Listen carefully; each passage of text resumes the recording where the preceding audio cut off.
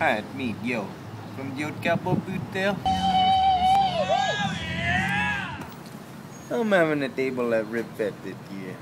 Let me tell you about customer satisfaction. All boot all day, anyways, always. How many boots could you love? You're a carnivore, herbivore, want some more, come to Rib Fest and get a full rack of Yo Cowboy Boot Sale.